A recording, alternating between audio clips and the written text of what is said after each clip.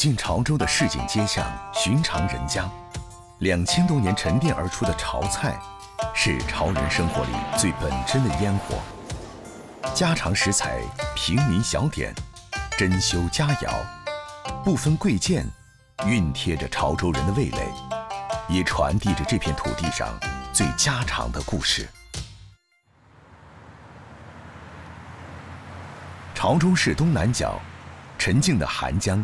在奔赴深海的旅程中，骤然一分为二，两条支流孕育出一块巨大的河州。这里草木丰盛，亚热带季风湿润气候和独特的土壤地理环境，孕育了潮州人钟爱的江东竹笋。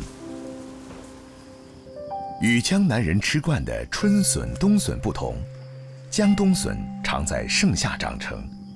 立夏过后，才是采挖竹笋的最佳时节。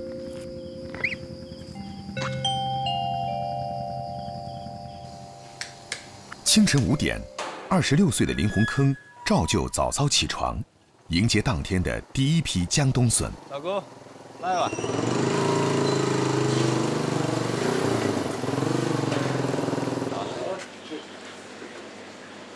这猛一根。由五月开始的笋季已经进入了尾声，农历八月十五的这最后一茬笋，在售卖前，林洪坑照例会预先进行分拣。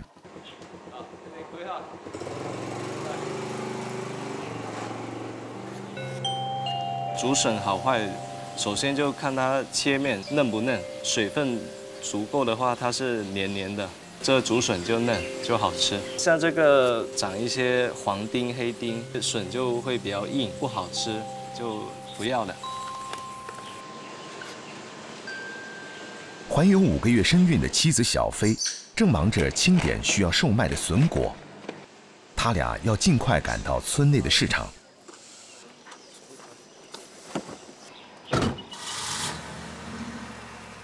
小夫妻在广州打工时相知相爱，小飞在婚后跟随丈夫回到江东，故乡的生活总是让人心里踏实。扎下根的两人开始尝试把村里的笋往城内卖，卖笋变成了卖菜，就这样，两人全年无休地做起了江东农产品的销售员。直到你别再休息哈。一直到等来，你做完来我摆着哈，都休息。要理想哈。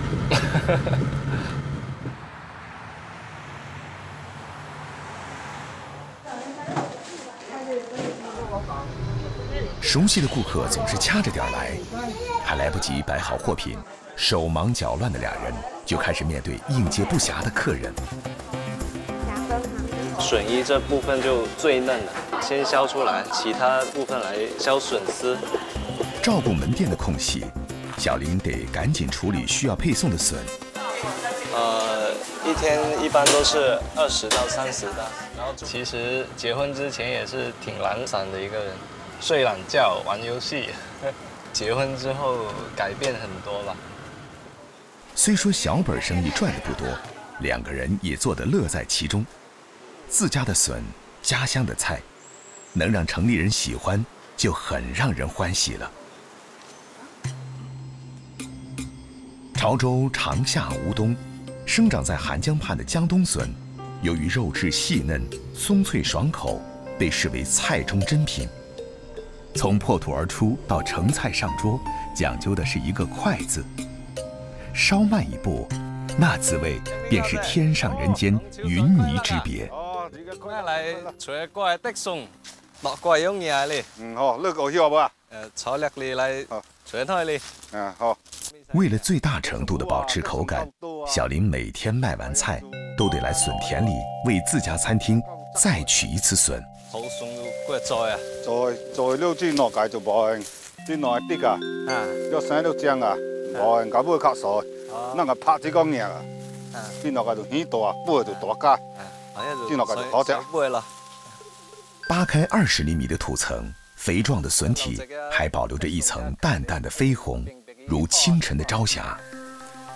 铲刀紧贴土层，在笋木处下刀，一铲一提，鲜笋应声而起。哇，你要写这个？笋呢，直食噶，白啊，做咩餸就可以食咯。行，好。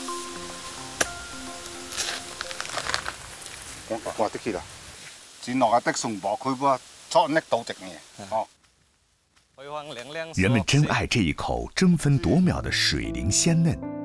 刚刚离开土地的笋，总会以最快的速度到达厨房，切成块儿、片儿、粒、丝，每种形态都对应着不同的美味表达。最鲜嫩的做成冰笋，保留原有的山野风味儿，蘸上芥末酱油，清甜爽口。笋块和鸭肉同炒，鸭肉的油脂浸润脆嫩的笋块，形成浓郁口感。笋丝包成笋卷，裹上蛋液，沾上面包糠，炸到表面金黄，外壳焦香酥脆，变成了一道风味独特的小吃。笋粒儿则最适合调配成馅料，制成潮州本地的特色笋果。笋馅儿的调制很有讲究，滚油将香菇、猪肉爆香，加入虾米增加鲜味儿，再用干贝汁、鸡汁调味儿，最后加入笋粒炒匀，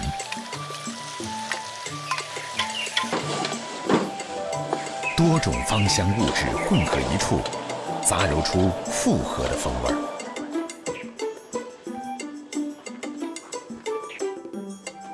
包裹是潮州女人擅长的活计，在双手不停的小飞看来，笋已是小两口日常生活中密不可分的存在。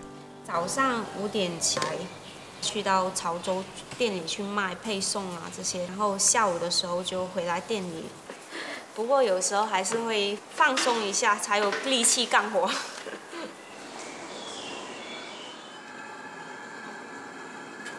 蒸熟的笋果。晶莹剔透的外皮，透出饱满的内馅儿，趁热点上菜脯干，果皮劲道不粘牙，馅料芳香四溢。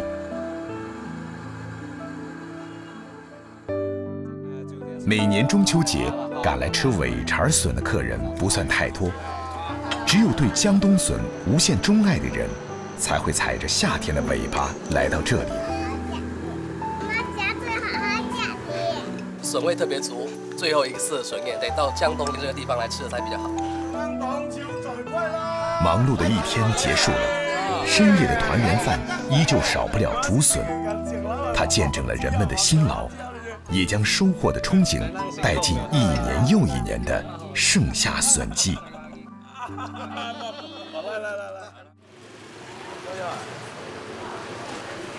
在潮州的网红街牌坊街。你能深深体会到一座活着的古城是什么样子。人们在过往的风貌中演绎现代生活。九点前是牌坊街的通车时间，买完菜的林派正赶着回店。作为潮菜师傅，在外走南闯北十来年的林派，五年前回到潮州。好好煎煎成型，上面裹上鸡蛋。从叔叔手上接下的这间潮州饭店，是街上唯一的国营老字号。店里的招牌就是各式的潮州小吃。我这个是酥肉，它是半煎半炸的。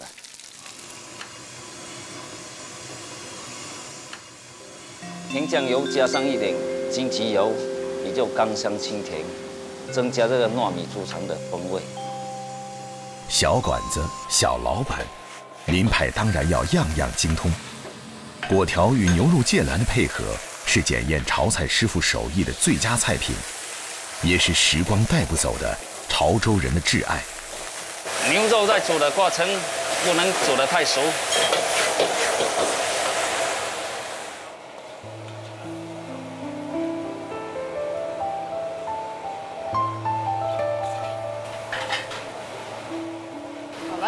上菜啊！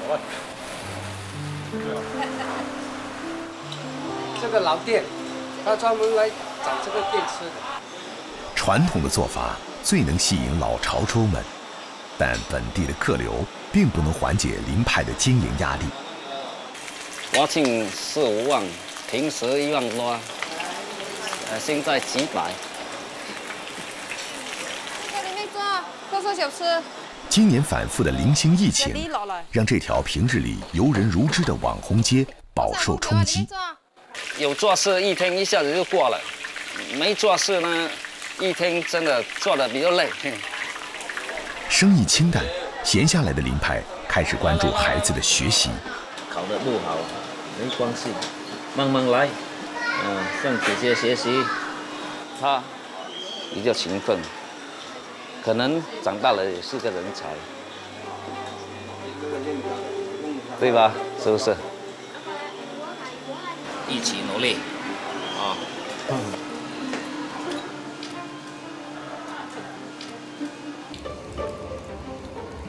明天就是国庆假期，突如其来的雨让乐观的林派也不禁焦躁了起来。期待了三个月的人流会出现吗？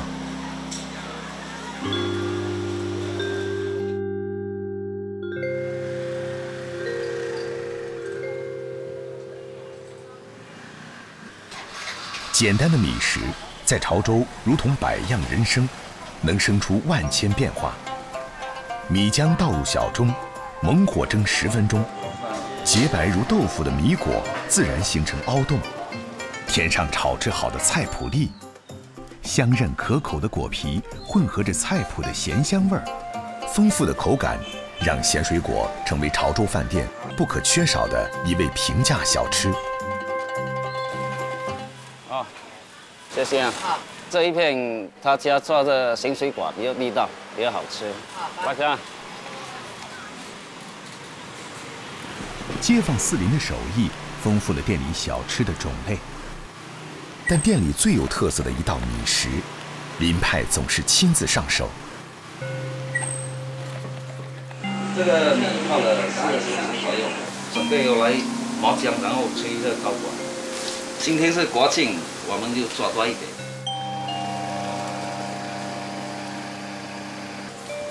容器先刷一下油，防止这等一下会粘在里面。纯米浆难以蒸熟，挑战厚度，必然要增加工序。蒸一层熟了，然后再蒸，大概是六七层吧。高温蒸煮后，米浆内的淀粉分子软化凝固，呈现出略微透明的质感，表面凝结出一层韧皮。如此循环往复，层层叠加。第一层大概要五分钟，第二层六七分钟，到最后厚度比较厚，可能有二十分钟。用近两个小时制作完成的糕果，米香浓郁，多层韧皮形成的结构，让果肉弹韧有力。好，这样一份牛肉炒粿条要不要？可以当主食。客人开始进店。林派加快了手速。第一步呢，就先加一点酱油，搞一点颜色，再下那个咖喱粉，啊，这个就把它拌均匀，它等一下煎起来就比较好看。咖喱引入潮菜，源自于清末下南洋的风潮。现如今生活富足，潮人不再出海讨生活，但这道具有南洋风味的小吃，却在潮州扎下了根。一张就全部淋在上面，把它包住。就多放几次，撒上葱花出锅，淋上浇头，外酥里嫩，鲜香微甜，啊，这样就 OK 了。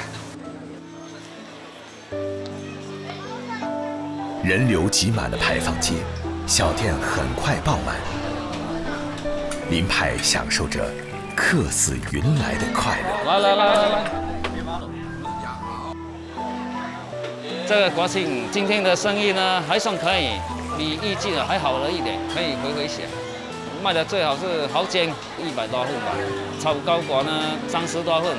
希望这个疫情赶快过去，明年肯定会更好啊！疫情一控制好，大家好。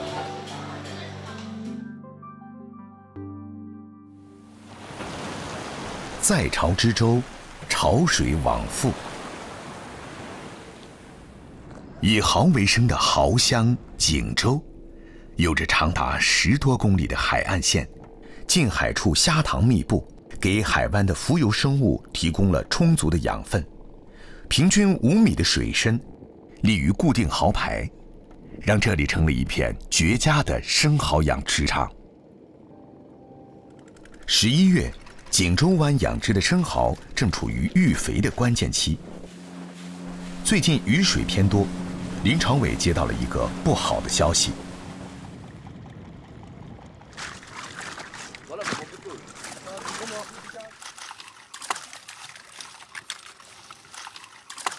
我现在切了一半，切了百分之五十。对，就是那个钓的太浅了，水太淡，想让它肥肥得更快，因为藻类它一般都是在上面的比较多，所以说我们就想着把它在上面一点点，这藻类比较丰富。欲速则不达，林朝伟本想在育肥期为生蚝提供充足的食物，让蚝能够迅速长大长肥。但最近频繁的降雨，让近海湾处的海水迅速稀释，海水盐分急剧变淡。让近海湾处这十几个蚝排的生蚝面临灭顶之灾。抢救这批生蚝的唯一方式，就是赶紧把它们转到更适宜生长的环境中。要把它那个钓到深一点的水层，两米深，盐度才会够。都是拿钱买经验。清掉死蚝，重新调养，工人们迅速进行着分笼作业。摆得整齐的话，它生长出来的蚝形也就比较整齐，比较漂亮。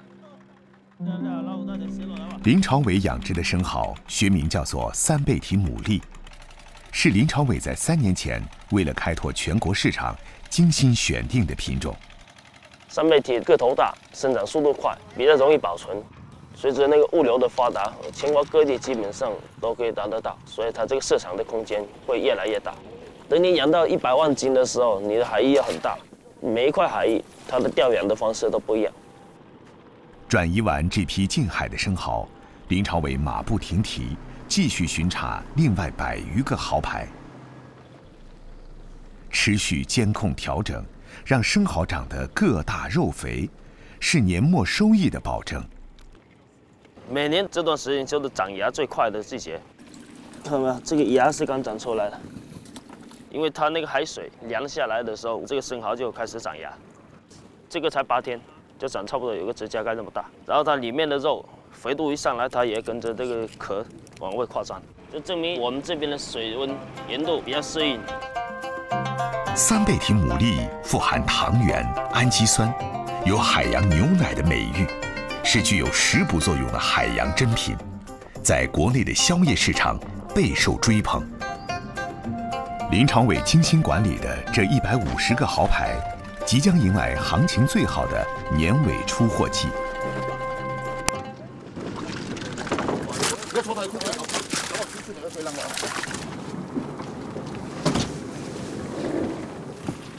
这都是养了很长时间的了，像这么一大个，要十来块钱，过十来天，它肥度会更更好一点，至少一斤在市面上现在好几块钱了。今天大概出个三五千斤，供不应求啊！主要是人家订货，我们现在还不卖。今天的意气风发，得益于坚持不懈的努力。三年来，他跑遍了全国的海产市场，就这样收获了全国各地的客户。因为他这个地方是易肥的，他这个地方肥得快。我们原产地出货价就这个，到了市面上可能就不止五两以上，可能十五块钱左右了。你差不了多少啊？也现在的生意就是这样子，也就这一点点利润。广西的客户远道而来，林朝伟最引以为傲的三倍体牡蛎，怎么聊都不嫌多。嗯，呃，都是在刚刚在长芽，里面肥不？肥啊，看了就就想吃了。肥度还算可以，这边的小苗长势也挺快的。那小的到那个大话语投机，意犹未尽。林朝伟带着客户驶向锦州养殖历史最悠久的一片蚝场，带你们去看一下我们养殖场的那个海蛎，它也是好的一类是吧？对对对对。割两串，我们晚上回去品尝一下也行。基本上我们近海都是养这些，这种蚝的话就是我们做的蚝仔煎，你们那边应该拿去煲汤的比较多吧？福州比较多。这片蚝场。出产的是锦州产量最大的太平洋牡蛎，它在当地有一种特殊的养殖手法，将牡蛎挂在海面固定的高度，退潮时，牡蛎会有几个小时晒到阳光。这种经历过日晒的蚝，壳体坚硬，肉质更加紧实。太平洋牡蛎采摘几个小时后，就会出现在锦州的横街窄巷里，有近万人参与开蚝的工作。锦州人开蚝技术娴熟，这种特殊的手工技能，即使在机械横行的现在，依旧无法取代。太平洋牡蛎煮熟后，紧实圆润，黑耳白肚，状似珍珠。它有个让人熟悉的名字——珠蚝。天色渐晚，蚝排上的小厨房里热气腾腾。滚熟的粥底加入猪肉、鲜油，起锅前下入刚取的猪蚝，海鲜丰富的氨基酸充分释放，鲜也就在这碗粥里尽情绽放。三倍体牡蛎则直接上炭火炙烤，海洋里最柔嫩的佳肴，在岩石般坚硬的壳体里沸腾，肥美嫩白的蚝肉点上蒜蓉。加入辣椒酱，简单而不失原味。丰腴的蚝肉裹上芡汁，入油锅炸至金黄色，外酥里嫩，又是一道让人不能自拔的美味。啊，这是炸蚝啊，炸蚝啊，炸蚝啊，酥酥脆脆的啊，沾点这个汁。同享美食是人与人拉近距离的最佳方式，在林朝伟看来。海鲜最能带来味蕾的满足，在这片海域，只要肯干，就一定会有回报。好吃，多水点啊，多水点。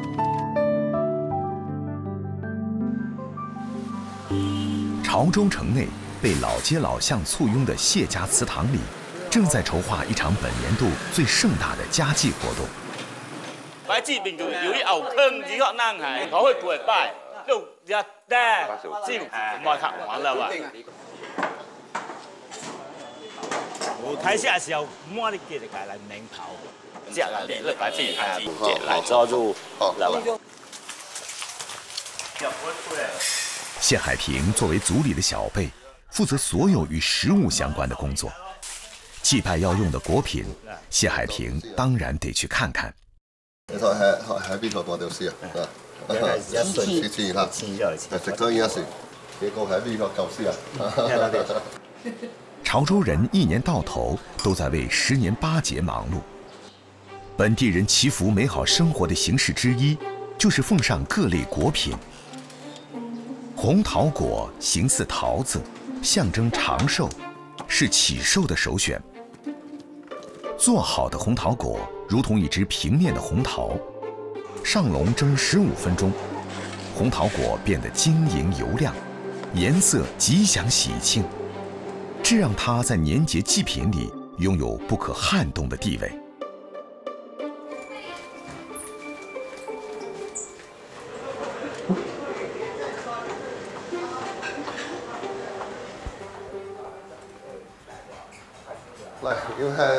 来试一下啊，酸肉配大切啊。谢海平经营着一家私房菜，生意不能停。心里却盘算着明天家宴的一道大菜，得赶紧备菜。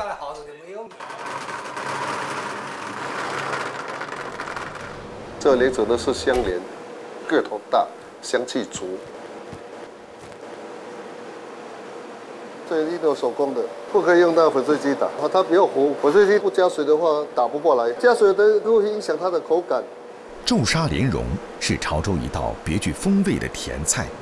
莲蓉是主角，炒莲蓉是个功夫活，加入白砂糖、油，在锅中用小火煸炒二十分钟，直到莲蓉粘连成块不粘锅，这味传统潮菜的底料才算完成。精工细料，耗时费力，皱纱莲蓉极少有人制作，因为这次难得的相聚，谢海平卯足心力。啊，这是本地五花肉，白肉瘦肉相间的，吃起来会比较细腻一点。肉块入水，加入葱姜料酒，焯去血水。肉皮上密集地扎上孔洞，抹上酱油，五花肉准备变身。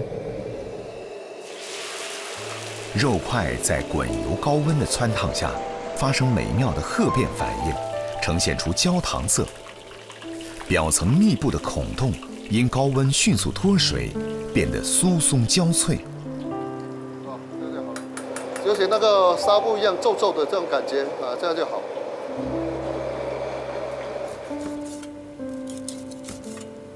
炸好的五花肉切厚片，与糖同煮，糖将赋予它更馥郁的风味。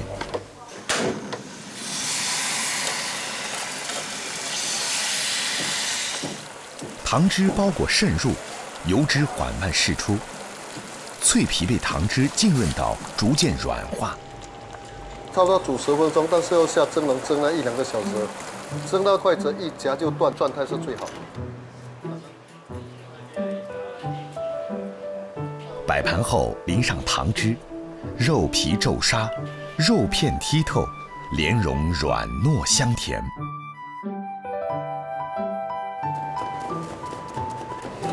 在谢海平看来，筹备大宴是徒弟们练手的绝佳机会。呢個鋪一定留掉，啊，冇留掉一個蒸料哈，一個呢個呢條鋪嘅蒸料嘅破坑冇影，哈，呢個就得留掉。煎蛋皮是为了制作另一道传统潮菜——富贵石榴球。要想将蛋皮煎得漂亮有韧性，手上必须得有点功夫。哦，差一点点，但是它还可以啊，有点拉力，有拉张力，它包起来它就也不会那么容易碎。蛋皮包裹馅料，扎起，素净可爱的石榴形，寓意多子多福、吉祥如意。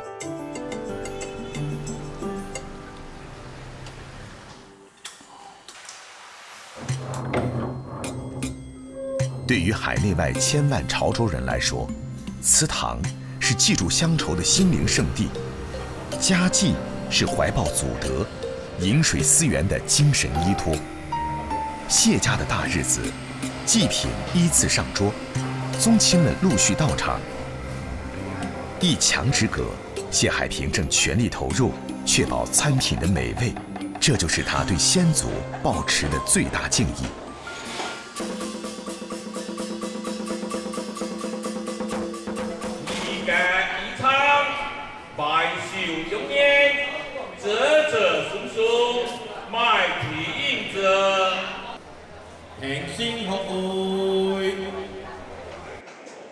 怀揣着对祖先的尊敬与感恩，祭祀仪式虔诚而肃穆。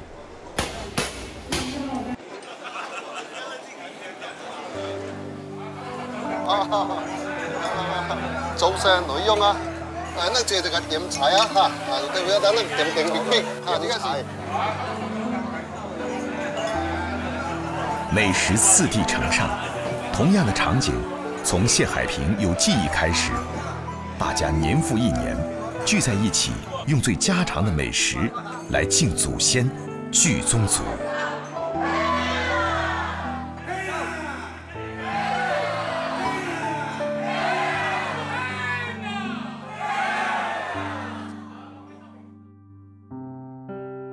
谢海平带着敬意，祈求家人平安健康，宗族绵延兴盛。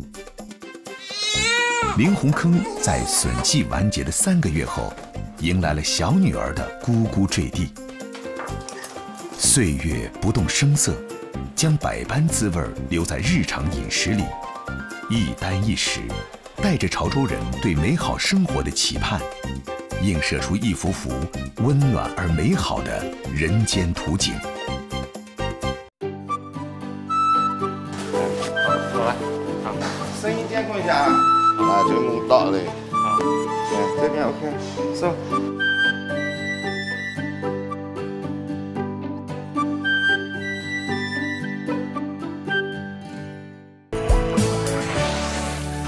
是美好生活倡导者。